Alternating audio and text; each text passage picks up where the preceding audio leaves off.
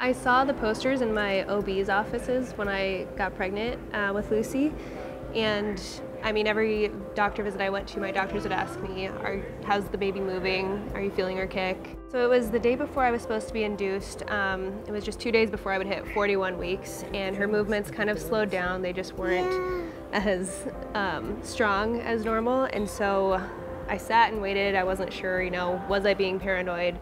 But I decided to call the doctor. Um, they advised me to go into the hospital. It was a Sunday and the 4th of July, so a whole different experience than what I was prepared to do, but um, I'm so glad I went in. You know, we, if we had waited another day, the doctor said she might not have made it.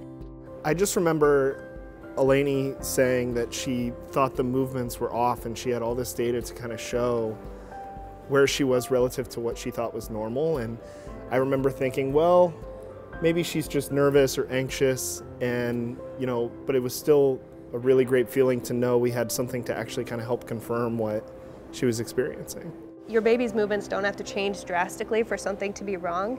Lucy still kicked, you know, 10 times that day like normal, but it was just in a much different pattern than what we were used to. You know your body and you know your baby. If you think anything is different, it's so much better to go in and have nothing be wrong than to not go in. So I would just say trust yourself, trust your instincts, and take care of your baby. One of the things that it's so difficult to know when she's initially feeling a certain type of way, she's bouncing that idea off of you. And it's really hard to understand, like, there's nothing to really add to the conversation beyond assuring them, like, hey, if you think we should get it checked out, we should get checked out. I think be supportive.